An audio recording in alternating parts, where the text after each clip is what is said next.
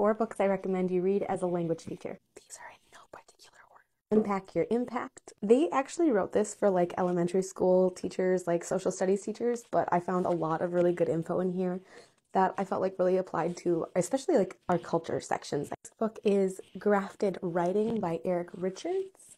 And this isn't necessarily like a book that you would read for learning stuff about teaching, but it's kind of like a resource that you can go back to. So I'm going to see if I can find a page to show you exactly what I'm talking about. Is it gives you like an activity and then shows you an example.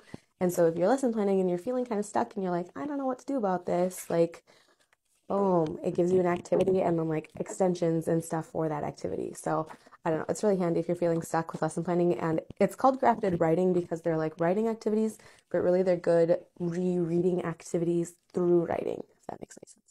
It is a natural approach to the year. It's by Tina Hargaden and Ben Slavic. And even though it didn't really apply a ton to me because it's it's basically about like a curriculum you a curriculum you can use um, that's very like a natural approach, right? It's not stressful. It's just like this is this pattern that we follow and this is what we're doing. And so when I read that, it wasn't super applicable to me because I had a curriculum that I had to follow. But chapter four, friends, chapter four, classroom management, so good. Kagan cooperative learning, and it's also not language teacher specific, but there's a lot of strategies in here that I think you can apply pretty easily to your world language classroom.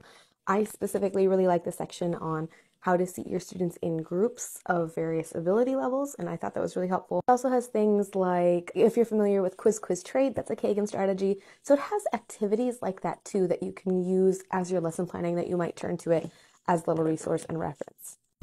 Okay, I do have one more book to recommend, and I can't find my copy of it. I think it's out in the garage and it's like negative 30 outside right now, so I'm not gonna go get it. But the book Common Ground is I'm still in the middle of reading it, but so far it's been really good. Basically, what they do is they're taking examples of activities that you might see in kind of an old school textbook and talking about like what is the good of those activities and how you can use them for a communicative based approach to language learning in your classroom. So if there's things that you are like supposed to be doing or maybe you're trying to work with a coworker or a department and you're not exactly seeing eye to eye, the book Common Ground maybe gives you some ways that you can kind of tweak some of those strategies to work together.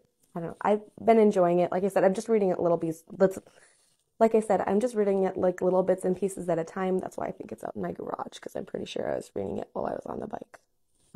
Anyway, I would recommend it because it's been good so far. But I'll come back and give a more detailed review of that one once I actually am all the way done. What would you add to the list? Comment and let me know.